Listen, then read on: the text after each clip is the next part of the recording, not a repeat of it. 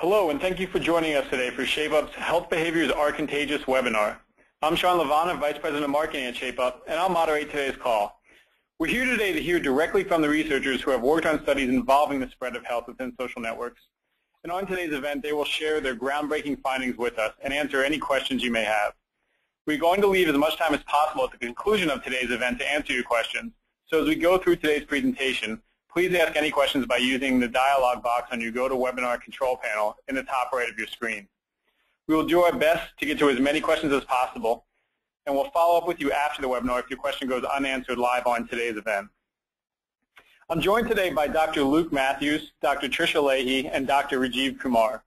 Dr. Matthews is a researcher at Activate Networks, the company founded by Drs. Nicholas Christakis and James Fowler. At Activate Networks, Dr. Matthews is responsible for the ongoing development and application of the company's algorithms. Dr. Matthews received his doctorate in anthropology from New York University and was a postdoctoral fellow at Harvard University, where he worked with Drs. Christakis and Fowler on their landmark studies using data from the Framingham Heart Study.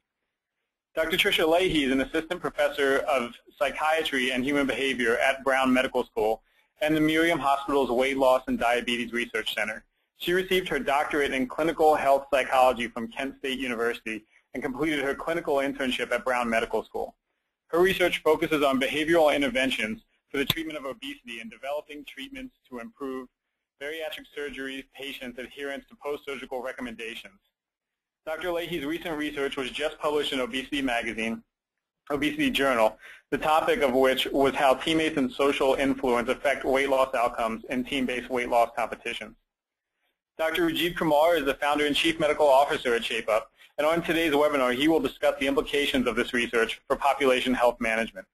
Dr. Kumar will start today's presentation, and I'll now turn control over to him.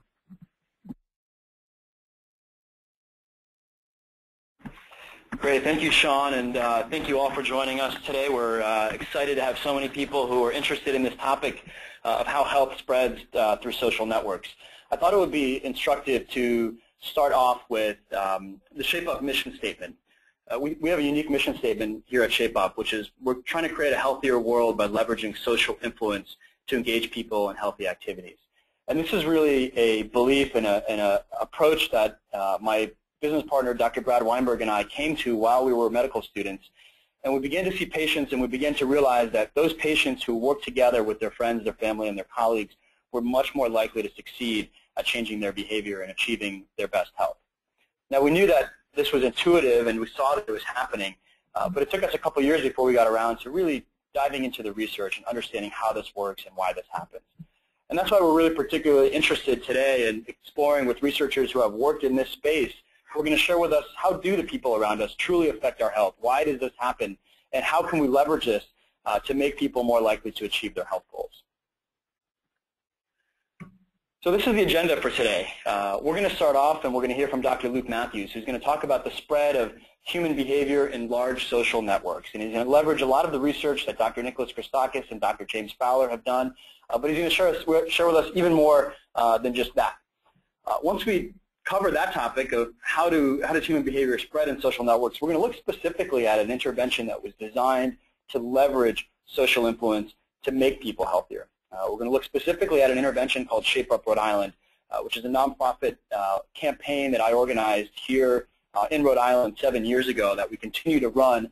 Um, and it was designed as a team-based wellness competition. And Dr. Tricia Leahey has been studying this program and the participants in this program for several years, and she's going to share with us uh, some of the research that she's published and some of the interesting findings uh, that she that she learned around how social influence affects health.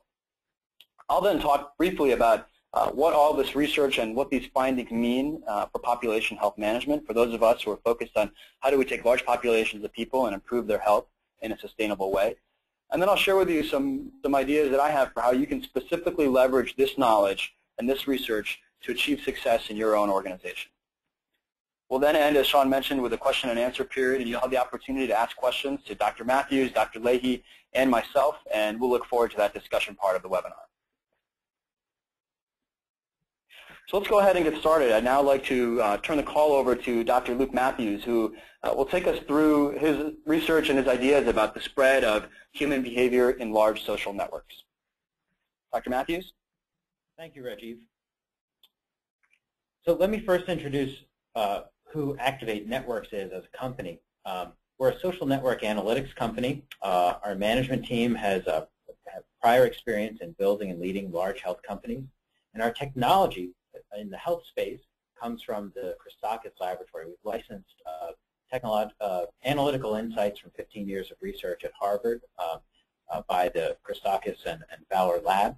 Uh, you may have heard of this research uh, from their best-selling book, Connected, where Drs. Christakis and Fowler discuss the incredibly powerful effects that social networks have on many aspects of human life. Next slide. Now, the essential insight of um, Connected and um, that we use to uh, create social network analytic technology is that human behaviors are contagious. That includes good behaviors and bad behaviors. So it includes individuals' lifestyle choices, um, clinical practice patterns by doctors, medication use by patients, fraud and criminal behaviors, purchasing patterns, and many other aspects of human life pass along ties of, of personal social relationship between individuals. The structure of all those relationships together constitute a social network connecting us all. And so what I'd like to, you to start doing is to think about the health of people in your company as a collective phenomenon, not just a characteristic of individuals. Next slide. So we've long recognized that human life has, has this collective aspect where we have uh, behaviors that have an existence that's more than the sum of all the parts of the individuals just added up. And so that includes our religious and political institutions and beliefs, our taste in athletics or fashion, or use of safety helmets, use of social media. Uh, so it, for all of these behaviors, it, it's clear that we're influenced by lots of other people. We have some kind of influence on those around us. And in fact, people can come and go in and out of the system, but the, the, the religious or political or social media system can kind of have a life that's somewhat independent, that's out of its own, that it can perpetuate itself through these patterns of social influence in a social network. And so start to think about the health of your company that way. Health isn't just a trait that individuals carry around with them where they have a disease or they don't, or they're fit or they're not fit. Um, they come into your company and they have effects on the health of other people at the company. The overall health of the company, uh, the physical wellness and, and, and um, uh, psychiatric wellness of people at the company affects them. And so they leave their mark and the company leaves a mark on them as they come in and out.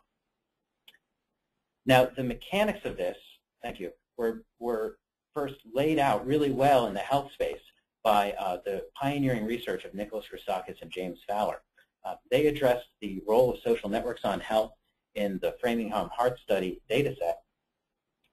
Uh, the Framingham Heart Study was originally started as a long-term study uh, to address the predictors on that sort of individual uh, trait basis, the predictors of heart disease, other chronic conditions of aging, so they followed people for decades.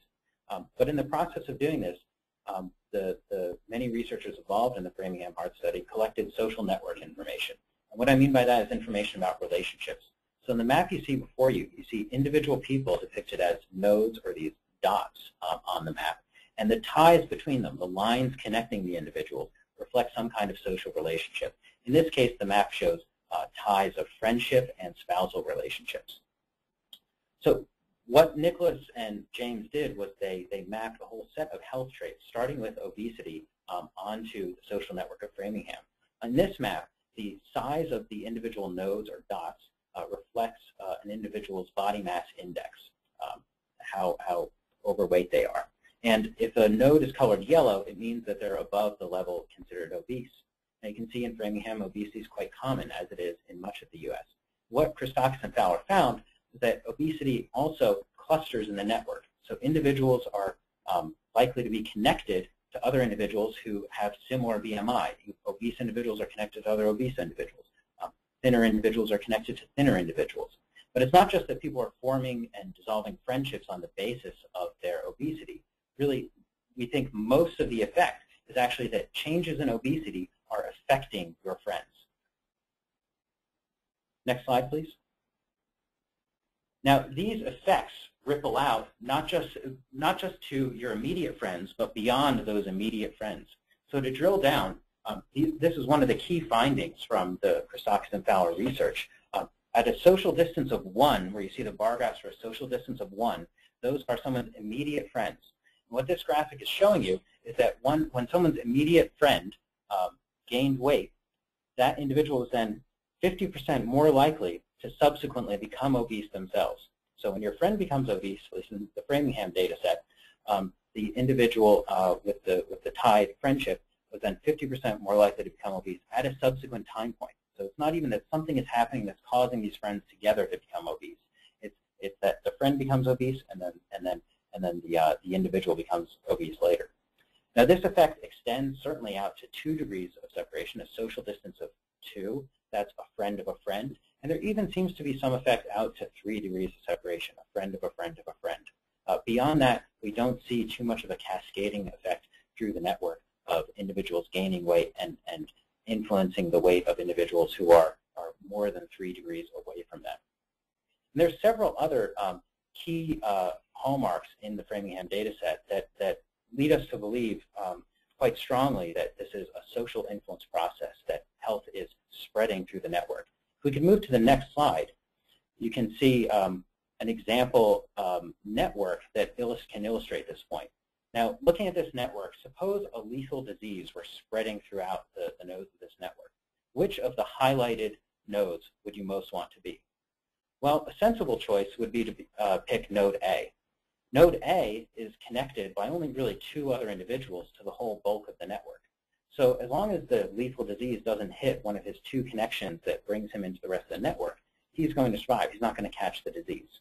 Right? It's possible he could catch the disease, but on average, node A is much more isolated and less likely to catch a lethal disease spreading through this network.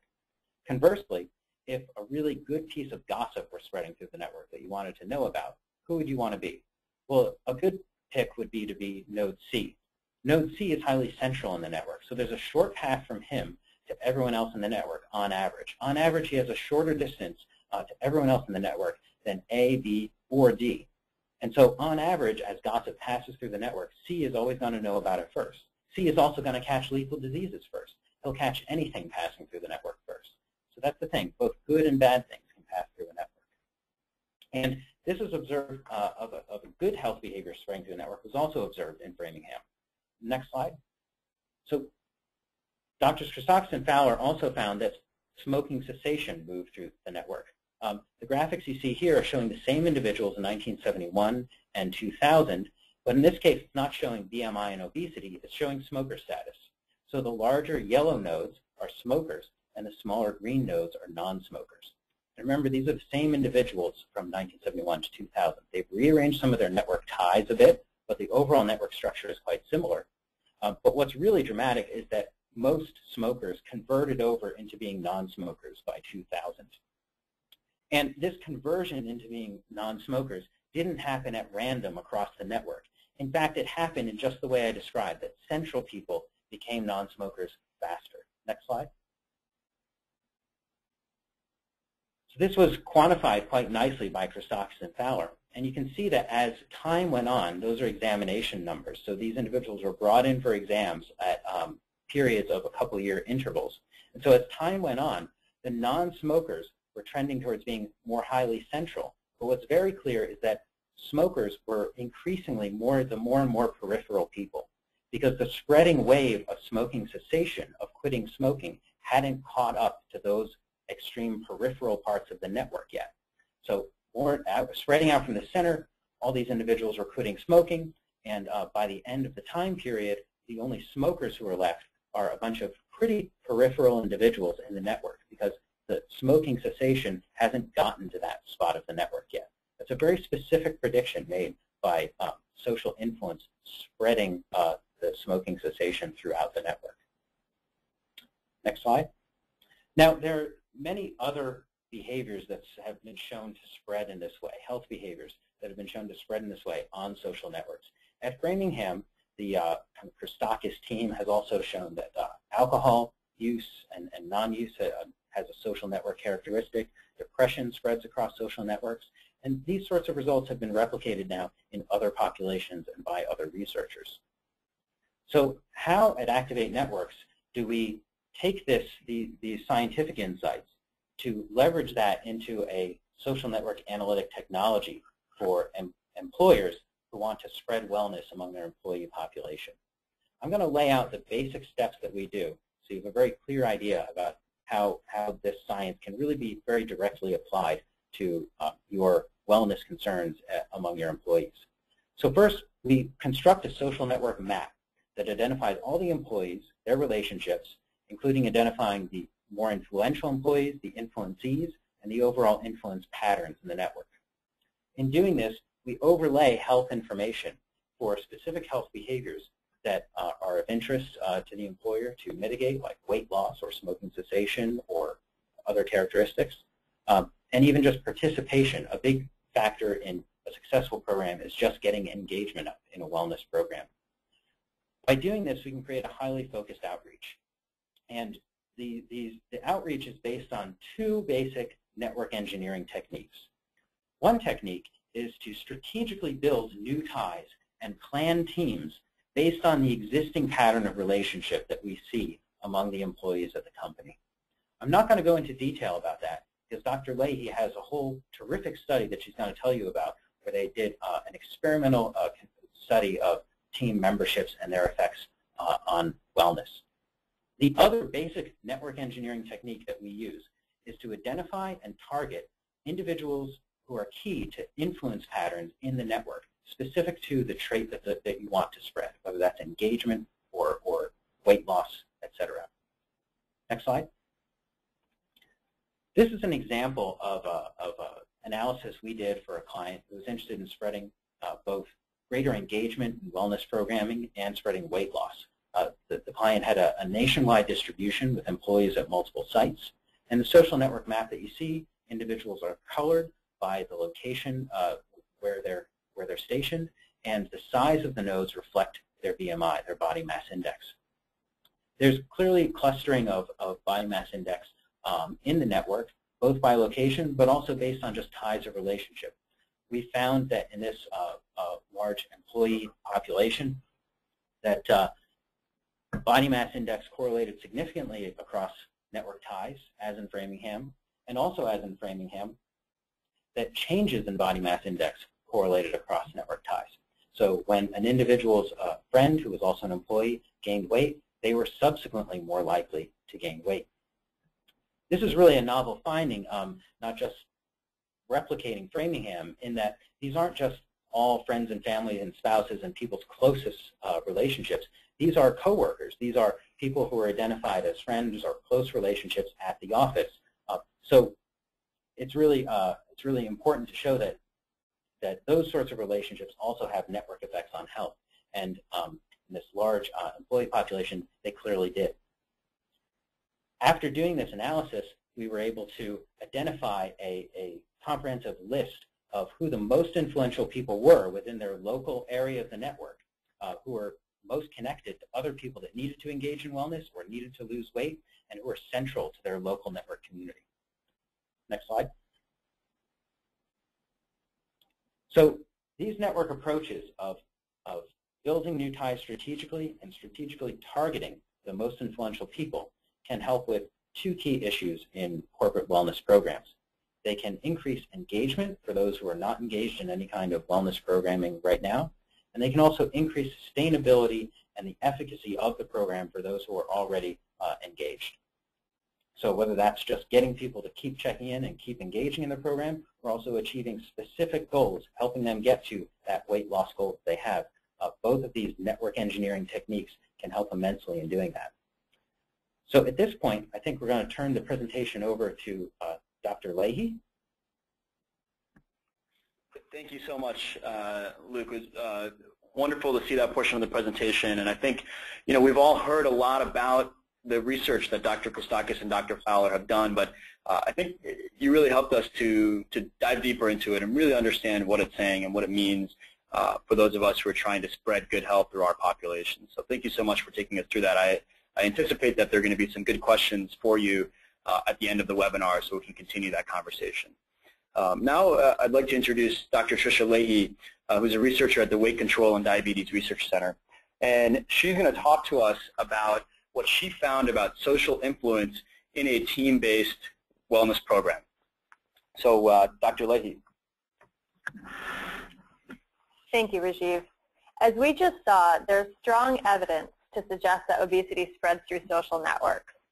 Given our group's particular focus on obesity treatment, we wanted to examine whether these same social influence processes operate to promote weight loss. In addition, because no one had yet examined whether the social components of wellness campaigns had any effect on outcomes, we sought to test whether social influence affected weight loss and changes in physical activity within the context of Shape Up Rhode Island, a team-based wellness campaign. Before I present those results, let me just tell you a little bit about Shape Up Rhode Island. It's an annual workplace wellness campaign that aims to promote weight loss and physical activity. Thousands of individuals join Shape Up Rhode Island each year in teams of 5 to 11 members and compete with other teams on weight loss and increasing activity. During the 12-week Shape Up program, participants receive access to an online tracking platform where, where they track their and view their personal progress and their team's progress relative to other teams. They also receive weekly newsletters designed to promote healthy eating and physical activity. And in addition, this program offers some community events, such as exercise classes and cooking demonstrations that are designed to engage participants in new healthy lifestyle changes. Using data from the 2007 campaign, we examined the effects of this program on weight loss and exercise. We found that Shape Up Rhode Island yields a significant weight loss of 3.7 kilograms with 30% of Shape Up participants achieving a clinically significant or 5% weight loss. In addition, Shape Up Rhode Island yielded a significant increase in physical activity. Participants increased their number of pedometer steps by over 2,000 from the beginning of the program to program end. Activity increases of this magnitude are associated with improvements in blood pressure, cholesterol, and glucose tolerance, so are obviously quite significant. Okay, so let me move into the social network effects. What are the effects of these social network or team components of this program on weight loss and activity out outcomes? Our results show that team members did indeed influence individual weight loss outcomes. Specifically, weight loss tended to cluster within teams, meaning that individuals on the same team tended to achieve similar weight losses. This effect was evidenced by a significant interclass correlation, which was consistent with a medium effect. So these findings suggest that weight loss is, contag is contagious in team-based wellness programs. Once we knew that weight loss tended to cluster within teams, we then wanted to examine team or social characteristics that influence individual weight loss outcomes. We found teams reporting greater positive social influence for weight loss yielded superior weight loss outcomes, and that having more teammates in the weight loss division was associated with greater weight losses for the individual team member.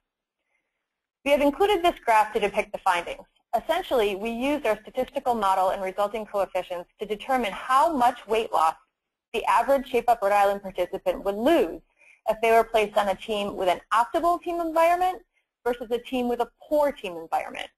As you can see, if placed on a team with an optimal team environment, meaning more positive social influence for weight loss and more teammates trying to lose weight, they would lose 5% of their initial body weight.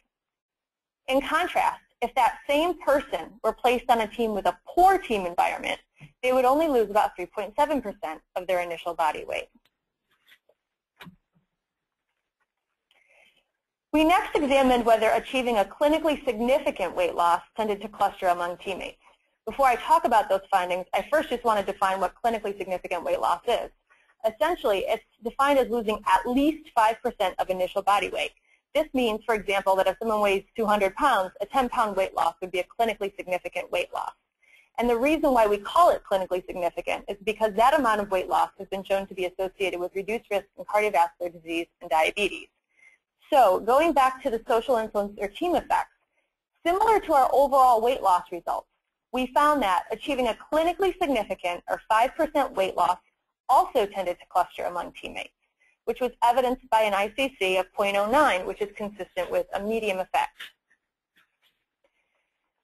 And our results show that network or team characteristics, again, influence the odds of an individual achieving a 5% weight loss.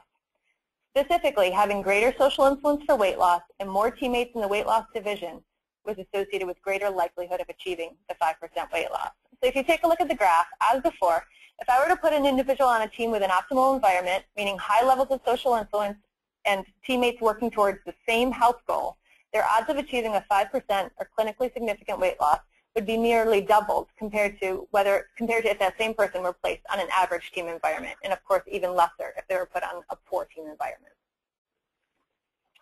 Finally, we also examined whether changes in physical activity clustered among team members. And indeed, individuals on the same team tended to achieve similar physical activity outcomes. Similar to weight loss, team characteristics influence changes in physical activity. Individuals on teams who started strong and had high levels of activity in the first two weeks of Shape Up Rhode Island achieved substantially greater increases in activity compared to those who are not, who are not on such teams. As you can see in the graph, if the same person were put on an optimal team, their physical activity would increase by over 3,500 steps per day. In contrast, if that person were put on a team with a poor environment, meaning that their teammates did not get off to a strong start, their activity levels would only increase by approximately 1,300 steps per day. Given that greater increases in physical activity are associated with greater reductions in cardiovascular disease risk, this difference created by altering the social network or team environment, environment translates to substantial cardiovascular benefits. So what are the key findings from this research? First, social networks impact both weight loss and physical activity in, in wellness programs. As such, wellness initiatives should really try to harness this effect and capitalize on the natural or organic positive social influence potential of coworkers, friends, and family to, to enhance the weight losses and physical activity outcomes. Our data suggests that ways of promoting positive social influence in social networks may be to ensure that participants form teams based on their health goals so that everyone on the same team is in fact working to achieve the same goal have teammates set overarching team goals, as such an approach can maximize social accountability by promoting regular reporting, giving recognition to positive role models, and therefore enhancing health behavior change. And finally, offering team building activities to promote a culture of social support and cohesion for health behavior change may promote positive social influence and thereby affect health outcomes. So where are we going with this research? First, we'd like to manipulate the team environment and conduct a randomized trial examining the effects of an optimal team versus a poor team environment on weight and activity. Second, we hope to dive deeper and better understand exactly how team members influence one another's weight loss and activity outcomes. We hypothesize that social norms, social modeling, peer accountability, and social support are promising mechanisms by which these teammates influence behavior change. Thank you so much, Dr. Leahey. Um, I find this research uh, fascinating, the idea that um, you can actually engineer uh, a social environment and uh, depending on how you structure that social environment uh, will influence uh, the outcomes that a person uh, achieves in a particular program. I think is pretty, pretty profound and gives all, of us in the health promotion space a lot to think about when we're building, designing, promoting, and, and implementing wellness programs. I want to uh, take a moment and just talk about what all this research that uh, was just shared with us by Dr. Matthews and Dr. Leahey means for, for those of us in population health management. Uh, first of all, you may remember back to, to 2007, Dr. Matthews covered this research, the Dr. Nicholas Christakis Framingham uh, Heart Study Obesity research. In, in that paper, he said that social influence suggests that it may be possible to harness the same force that was spreading obesity in the Framingham population to actually slow the, the spread of obesity, and that network phenomena could actually be exploited. And it turns out that, that Dr. Christakis was right. Um, you know, both the, the research and uh, work that Activate Networks has done and, and the work that Dr. Leahey has done in studying the Shape Up Rhode Island program has proven uh, that we can actually intentionally slow the spread of obesity or in fact reverse it uh, and spread healthy behaviors and healthy outcomes uh, through a social network. And it, it, turns out that it's not just Activate Networks and, and Shape Up Rhode Island. It's really the whole healthcare industry has come uh, to realize the power of uh, taking a social approach to health, whether it's using social media, social networking, organizing people into groups, group-based behavior change. Um, we're starting to think about ways that we can treat individuals not just as individuals but as groups of people, that we can really think about those individuals in their lives that have an influence on them and how do we leverage all of them to produce better outcomes? Because I think we can all agree that the health of our nation is not moving in the right direction. uh, I believe that the social approach offers us great promise. And so I'd like to summarize the, the key takeaways uh, from today's webinar. And again, I want to remind you that in just a moment, we're going to have an opportunity to ask questions uh, directly to Dr. Matthews, Dr. Leahey, and myself about the content that was covered here or any other uh, areas of interest that you have related to this topic. The first key takeaway, uh, and this was really shared by Dr. Matthews, is that health behaviors, like many other human behaviors, spread in social networks. We are social beings. We look at what people around us do. Uh, we take our cues from them. The people around us determine the social norms, and they have a tremendous amount of influence. And therefore, the behaviors that are related to health uh, spread from person to person. And what that means is that unhealthy outcomes can spread. And we heard about research both about obesity spreading over the past 30 years uh, across uh, the Framingham Heart Study and really across the nation. And also uh, the, the effect on alcohol consumption uh, when it comes to uh, social networks. But again, it turns out that healthy behaviors and healthy outcomes can spread uh, smoking cessation, increased physical activity, and weight loss. So even though the spread of obesity has really brought us to a dire situation, there's a great hope that we can leverage the same forces that spread unhealthy behaviors, harness them to spread healthy outcomes. What that means is that interventions that target key influencers are more likely to achieve maximum engagement and activity. If we can identify and target the individuals that are most central in the network, that have the most social influence over the people around them, we can be more successful. We can leverage those individuals to help us achieve our goals of improving the health of a population. And that's really the work that uh, Dr. Matthews is talking about that Activate Networks does so well. And that interventions that promote social influence, teamwork, and shared goals are likely to produce better outcomes. Historically in the healthcare space, we've seen so many interventions that focus on, on people as individuals, and they single them out and treat them in, in, in a one-on-one -on -one capacity. But really, we need to open our minds to the idea that uh, perhaps group-based behavior change is a better way to go. Perhaps group coaching, I've been hearing a lot about uh, new group coaching programs that are coming out, is a more effective way uh, to intervene than individual coaching program. So the research here suggests that if we take a social approach to our health interventions, uh, we're likely to produce better outcomes uh, for the people that we're trying to help. And so how can you take this knowledge and leverage it uh, to achieve success in your organization? Well, I came up with uh, seven ideas for how you can do that. Um, and I think they're going to go out of order. So um, the, the, the, one is to um, really focus on organizing teams and groups uh, for wellness. So whether it's online, offline, when you're running your wellness program, think about how you can uh, get people working together on teams uh, and on groups. The second thing you can do is you can actually map the social network of your population. And, and Dr. Matthews talked briefly about this. I hope in the Q&A we might be able to talk or touch upon this in greater detail. But you can actually learn how people are connected, how closely they're connected within your population, who is at the periphery of the network, who's at the center of the network. Once you know that, you can actually leverage those individuals and facilitate peer-to-peer -peer recruitment through those influencers. What we know from our experience is that people are much more likely to join a wellness program when they're invited by somebody they know and trust and are influenced by. So we need to identify those people and leverage them to help us get the word out. You can also utilize competitions to organize and motivate. Uh, we've seen that through the Shape Up Rhode Island program and the data that was just presented. Uh, competitions provide structure, they give people a reason to participate, and they can really motivate uh, individuals to work together to improve their health. It's not enough to just organize teams and groups, as Dr. Leahey talked about. We really need to promote team cohesion and team building. Um, so think about how within your organization, within your wellness program, you can go beyond just getting people together, but really helping them work together, helping them communicate, helping them share, uh, helping them to coach and support each other uh, is really the, the way that we're going to produce the best outcomes. Well, it's also to remember that we have to share results and, and provide comparisons to promote accountability. A lot of what makes people successful when they're on a team is they feel accountable to that team when their team members can see their results. They can see whether or not they continue to be active, whether they're moving in the right direction. Uh, we need people to be able to see those results. And so whether it's online or offline, make sure you're thinking about how uh, to share the results within reason and obviously um, protecting uh, health information that's private, but uh, wherever possible, let people share what they're doing and, and share how they compare against others in their organization. And then finally, we hear a lot about financial incentives, and most of the financial incentives that are being offered by employers, by health plans, are individual financial incentives. There are financial incentives that go to one person for taking an action that's personal and individual. Think about how you can link financial incentives to social actions. Team goals, for example. Perhaps individuals on a team only get uh, the incentive if the entire team reaches a common goal that they've set forth at the beginning of the program.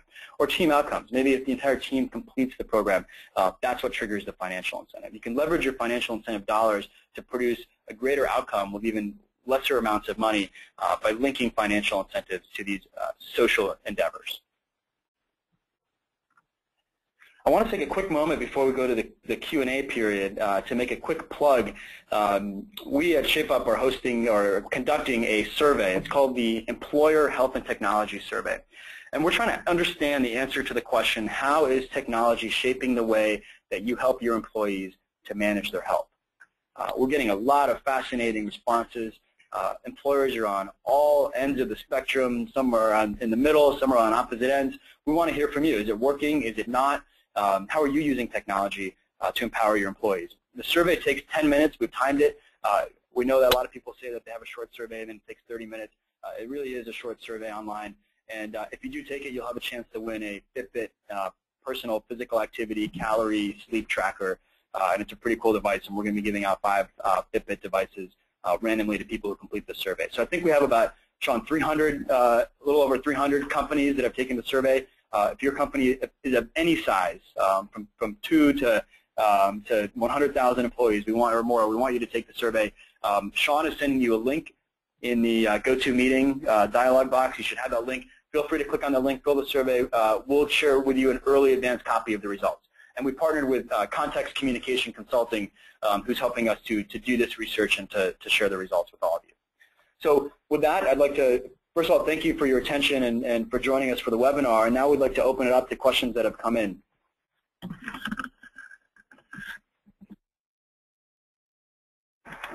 All right, thank you, uh, Rajiv, Tricia, and Luke. Great presentations today. Um, I did just chat out the link to the survey. Um, so if you're in charge of running wellness at your company, and, and as Rajiv said, if you're a company of any size, we'd love to hear from you. We're, we're really trying to, to benchmark some of the best practices of the use of technology and wellness. We have had a lot of great questions come in. Um, there's, there's a pretty good variety here too, and there's a lot more rolling in. We'll, we'll get to as many as we can um, today. And uh, those that we don't get to, we'll, we'll, we'll, follow up with you personally by email. So um, let me just address one quick question that uh, typically comes up first. Um, the slides and the archive of today's event, we will make those available. Um, and as soon as they are, we'll send a link out to you guys via email. Uh, and you can access it on demand at any point. Um, so first question, uh, and there's a couple that tie in here. So let me just see um, if we can maybe maybe tie them in. But um, first question goes to, to Dr. Luke Matthews. Um, how do you identify who the key influencers are when you're geographically dispersed? So I think that came up when you were showing um, the slide of the dispersed population in, in the multiple office locations.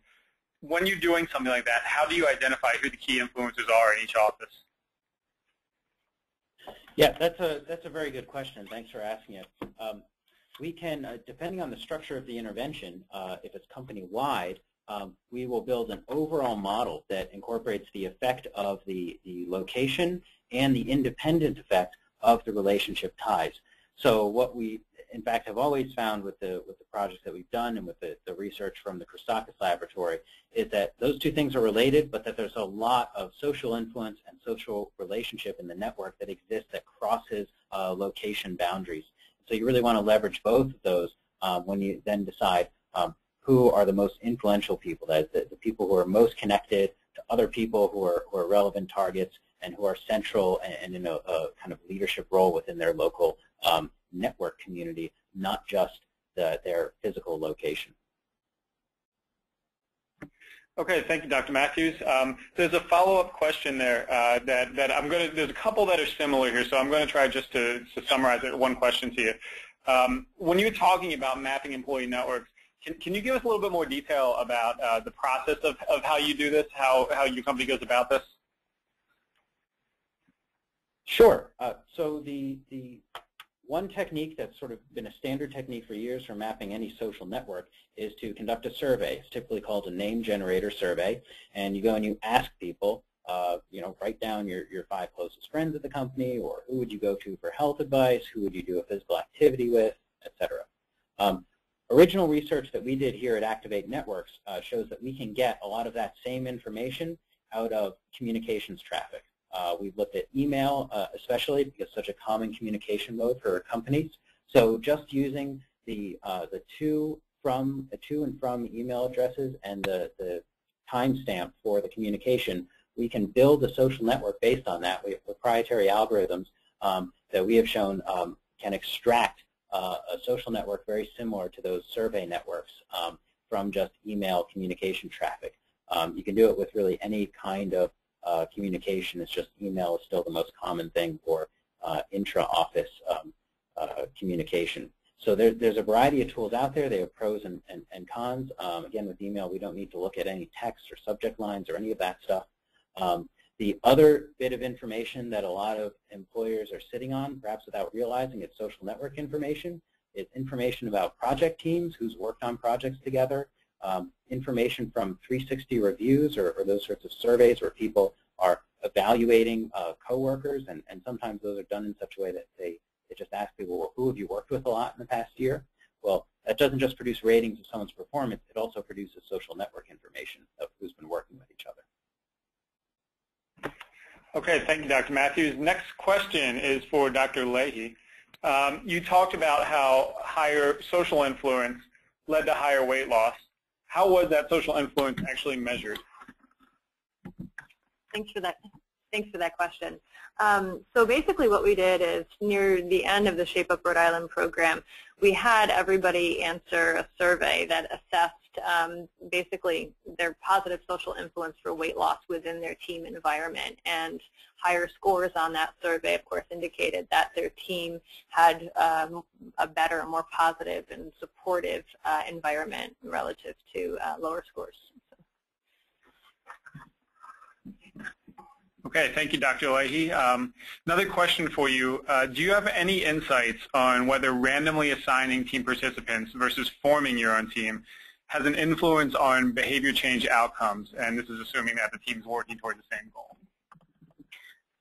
That's an interesting question. I mean, I think that there's something um, potentially powerful about natural networks. You know, we choose our, our our social contacts and for a variety of reasons. Um, so, you know, and that can cut both ways as we've seen in this presentation. So you can choose somebody that could be potentially helpful, but you might also choose social contacts that might not be so helpful. So, you know, if we were to choose our own networks, I think we run the risk of potentially having um, some negative social influence for weight loss or some other health goal. However, if we are to actually kind of manufacture an optimal team environment by including people you know, um, but also including people and um, having components that we know will maximize positive social influence for health behavior change. I think that we have a better chance of really exploiting and harnessing the social influence potential of social networks.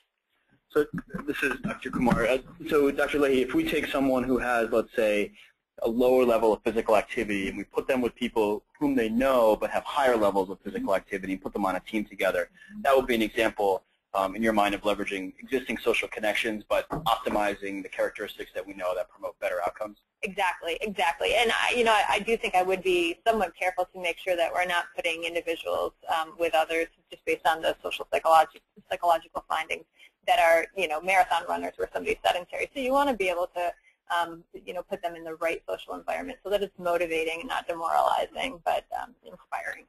Yeah, your comment made me think about um, the article that was in the Wall Street Journal uh, just a couple weeks back that was called The Colleagues Who Make You Fat. And it was talking about how there are these people in our social environment, especially at work, that um, that guilt trip us into eating unhealthy food or having a slice of cake when it's somebody's birthday so we don't uh, hurt their feelings. And so it's true that the people that uh, we're close to are not always our best allies uh, when it comes to improving our health. So it is important to think about who we actually associate with and uh, when we design these interventions, how do we group people who are going to help each other as opposed to drag each other down? Exactly. Okay, thank you, Rajiv. Uh, and Dr. Leahey. Um, next question. I'll, I'll, throw this one to Rajiv first, um, and then if the uh, other participants want to jump in as well. Um, how did you come up with the 5 to 11 number for team members? That's a, that's a great question. Um, that was a, um, I want to say it was a somewhat random selection based on trial and error. But we looked at um, what team sizes were generally in various sports, um, and so that was uh, that was part of where we kind of got a ballpark um, team size. We knew we didn't want 20 people on a team; that we thought the team would start to splinter off. um, and form multiple smaller teams. We also knew that not everybody sticks with any health intervention, and traditionally most health interventions have very high attrition rates. So we knew that if we went to four or three people, if one or two individuals stopped participating or disengaged, that team would no longer be a team. So we found that middle ground between 5 and 11 um, just to really be um, the right amount of, of team members uh, to really help power the, the, the, group to success. We also found that it was burdensome for the team captains to have to go out and recruit uh, more than 10 people. That was really, at a team size of 11, they really felt like they, they just wasn't enough time and it was just too much effort to keep getting more and more people on their team. So uh, it was really, uh, the people in the program told us uh, what worked best for them. We, looked, we observed uh, what was happening in other sports and other games that we knew of. Um, and then we've been studying this and it turns out that it actually is a pretty good um, size, its range for teams. Um, what we have found in some of the data that we've looked at is it appears that some of the larger teams uh, achieve greater weight losses um, and greater physical activity. And I think that that may be simply due to a motivated team captain uh, who goes out and recruits a lot of people and is highly motivated to help power that team to success. Um, but we haven't looked very seriously at what is the optimal team size. It's a really good question, and it's something that we're hoping to study in the future. Thank you, Rajiv. Uh, I'll throw the next question out to both Dr. Leahey and Dr. Matthews. Um, Dr. Leahey, if you want to answer first. Um, do so-called key influencers need to be senior management in order to positively influence behavior change? You know, I'm not sure that I'm actually the best one to answer that question, but um, I, I, think it might uh, be better um, with our, our other presenter. Um, but, uh, you know, I, I, do think that it's important to find somebody who has the social capital to potentially um, then be able to be as influential as we want them to be and to promote whatever it is we're aiming to, to promote. Yeah, if I, if I could jump in there. Um, I think I think the answer is the question was whether key influencers have to be at a, a management level. Um, and, and the basic answer is uh, no, they don't have to not be at management level, but they don't have to be management either. Um, first, um, keep in mind when we pick key influencers, it's not just based on the network, it's based on how the trait that you want to affect lays on that network. So whether that's engagement in wellness programming or weight loss or more activity. Um, there's, you don't go to the same person for advice about everything. You don't look to the same person for a model for everything, right? For certain traits, you look to some people. For other traits, you look to other people who you know personally, who are all within your local network. Um, and we find for, for wellness, um, but as well as a variety of business issues, so we have an entire organizational network analysis division that works on business management issues. There's often key influencers and people who are key to any work getting done at a company who, who are not necessarily at a, at a high management level, but they, they're, they're, just, they're just great social networkers. They know the right people, they know how to connect to the right people, uh, and they're looked to by, by those around. Uh, thank you both, Dr. Leahey and Dr. Matthews. Um, next question that just came in, are you evaluating sustained weight loss, uh, for example, six months, six months post-program? So we have actually, um, in the um, obesity study that was first published uh, back in 2009, which was based on 2007 data, we, uh, six months after the four-month intervention, um, surveyed the individuals and asked about their uh, current weight at that time. And we actually found that 73% of the weight loss, of the original weight loss during the intervention had been maintained uh, six months after. So 10 months from time zero, 73% um, of the weight loss has been maintained. And what's interesting is we wonder, you know, why? That seems pretty high. Uh, most weight loss interventions six months after um, uh, see that people regain almost all of the weight. And what we're hypothesizing is that because people are doing this together as a team in a social approach, they're actually modifying their social network. Um, their, their social network is now uh, understanding of the goal they're trying to achieve, perhaps actually worked with them to achieve that goal, maybe even shares a common goal, and so that they can actually be more conducive and create a more supportive environment to maintaining that behavior change over time. If we go and we, we go to a, a retreat to lose weight um, somewhere far away in a remote location, and we come back into our obesogenic environment, which is really what most of us live in, uh, suddenly our colleagues are, like the Wall Street Journal talked about, making us fat, and our, uh, our, our family members are bringing unhealthy food into the home, and um, our colleagues are saying, let's go for happy hour, and let's go for half-price appetizers after work, and you know, we're not necessarily promoting healthy behaviors, but uh, if we actually announce to the world what we're trying to do and the people around us are working together, we're modifying the social environment. And that's really my hypothesis for why um, there's greater sustainability over time uh, for uh, weight loss outcomes that are achieved in a social fashion.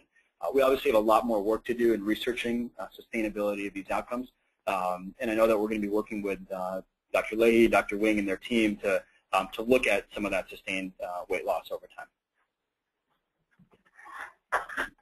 Thank you, Rajiv. Uh, next question actually comes back to you, um, and it's two parts. But uh, the first is, are there good web platforms for creating networks like this within organizations across multiple sites? And then as a follow-up, that same person also asked, are there non-web strategies you would suggest for creating these networks? Sure. Well, I think there are general enterprise social networking tools that are proliferating. Uh, you may have heard of Yammer or Jive.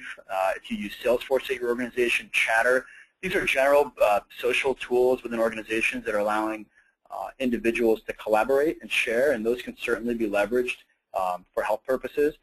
There are obviously uh, companies like ShapeUp uh, that are doing that specifically for health and wellness, where uh, we host platforms that allow individuals to invite their colleagues to form uh, common, uh, form teams and goal uh, groups around common goals, to compete, to track each other's progress, to support each other, hold each other accountable, um, and try to take the social approach. And so um, there are specific online platforms, both non-health and health-related, um, that are designed to harness the power of social connections within your population. Um, and we're going to see more and more of those um, platforms and applications uh, come on the scene. I think in terms of informal uh, ways to organize, there are lots of ways to do that. Um, what, what, we've seen in a lot of uh, large companies is the organic creation of intramural sports leagues um, where employees are, are forming uh, teams and, and, tournaments and leagues around their common sports interests. And whether it's um, softball or uh, soccer or baseball or whatever it might be, um, that's one example of an offline um, social wellness program where people are forming teams and competing and holding each other accountable and cheering each other on um, and using that type of initiative to stay active. So I think the, the sky's the limit when, when we talk about offline um, group-based behavior change interventions. And um, if, if, we think creatively, we'll realize that even, even something like intramural sports leagues uh, is an example of that. Thank you, Rajiv. Um, we have a few minutes left here, and we have a few questions left. But if you do have uh, any more questions, feel free to type them in. And uh, if we don't get them to, to them live today, we'll uh, we'll follow up with you. Uh, two questions that came in that, that, that go hand in hand uh, for Dr. Leahey. Um, what do you believe to be the most important quality of a successful team, uh, either similar goals or pre-established friendship? And then somebody else asked, um, can you talk a little bit more about what makes a team successful? These are great questions. Um, so first of all, I think you have to have team cohesion in order for any um, social influence to spread or to transmit amongst amongst individuals. So you know, if if you think about if you're not in a supportive environment, you're not very emotionally connected to the people you're working with, um, you know, you're probably less likely to be influenced by these individuals. So I think cohesion is critical. Um, and in terms of optimizing the team environment once you have cohesion, I would really um, argue that you have to focus on shared norms or social norms. So create a culture of um, of behavior change. So what do we expect from one another? What do we expect in terms of a weight loss goal? Is it one pound per week? Is, you know, what do we expect in terms of physical activity goal? And then um, holding each other accountable to those expectations. Everybody report in on a regular basis on their weight loss goal, their physical activity goal, to, and help to support each other to reach to reach those efforts. So I, I think that by doing that, by holding each other accountable, so you have the support, you have the social norms, and you have the accountability. I think it could be potentially quite powerful.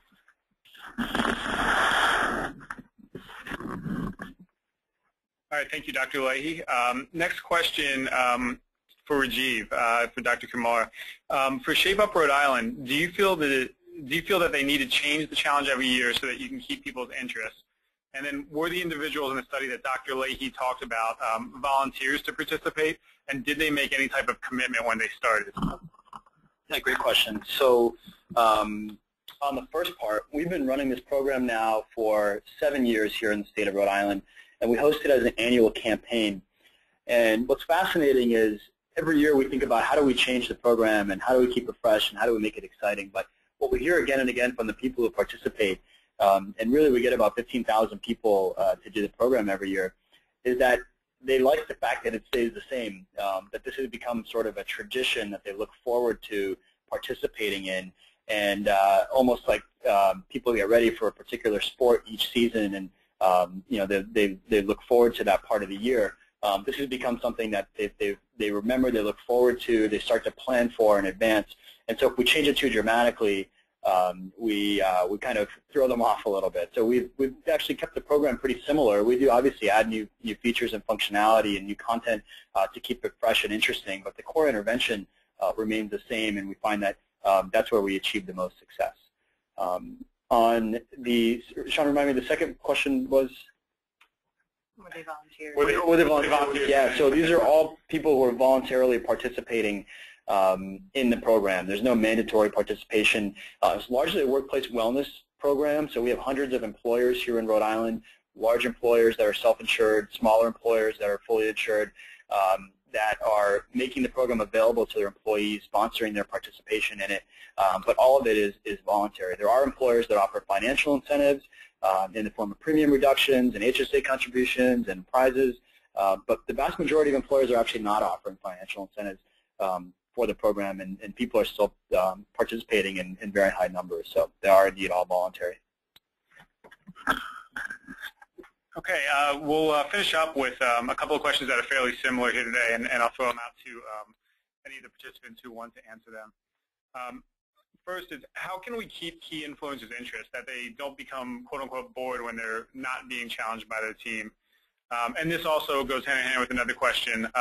How do we make the programs exciting enough not to be constant white noise throughout the year for our workplace wellness? I'll take uh, at least the first part first. Um, so how do we keep people engaged who are maybe key influencers, uh, who are highly motivated and, and, maybe their team members are not as motivated or they happen to join a poor team environment, uh, less optimal team environment, um, as Dr. Leahey described what we've done specifically on our platform is we've tried to create opportunities for those individuals to then venture out and find others who are highly motivated uh, to, to interact with. So these individuals on the ShapeUp platform, for example, can create their own challenges and can invite anybody they'd like to. So even if they're on a team and they're participating in, let's say, a weight loss challenge, if that's not motivating them or challenging them or they're not feeling engaged, uh, they can go and create their own challenge on any topic they'd like, and they can invite whoever they like within their company um, to participate in that challenge. We also have uh, challenges focused on individuals where every week we ask the entire platform to try to track one specific action every day for seven days. And that could be something like try to walk a certain number of steps this week. It could be something like take the stairs instead of the elevator every day this week. It could be something like keep a food diary every day this week. But they're individual actions. So if somebody is not necessarily succeeding on their team or they ended up on a less than optimal team, uh, there are lots of opportunities to keep that individual who is motivated activated and give them opportunities. And then any comments on, uh, uh, I think that probably goes hand in hand with making wellness programs exciting is you're not pushing that information out, but, but the team is, and, and they're engaging each other. Any, any further comments on that?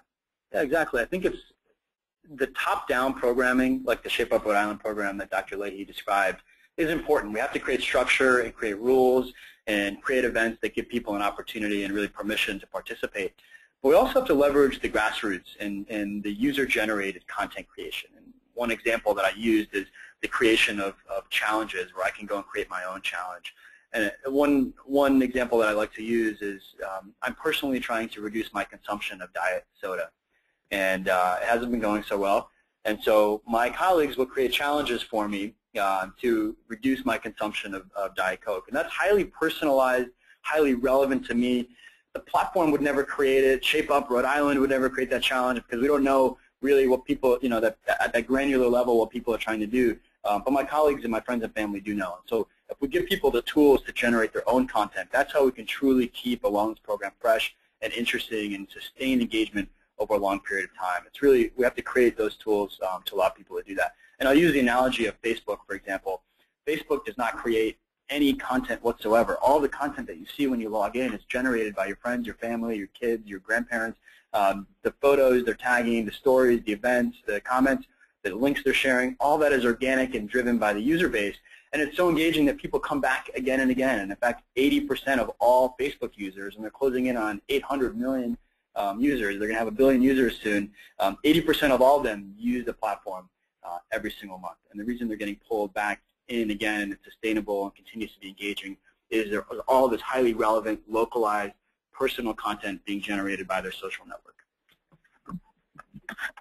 Thank you, Rajiv. Uh, we're just a minute over time here, but we do have one last question left, so uh, we'll go ahead and answer it. And again, please feel free to type yours in in the meantime. Um, do you see a difference in competition from different types of employees? Uh, for example, do less fit employees shy away from team competition? Well, we definitely see that uh, different personality profiles um, react differently to competitions.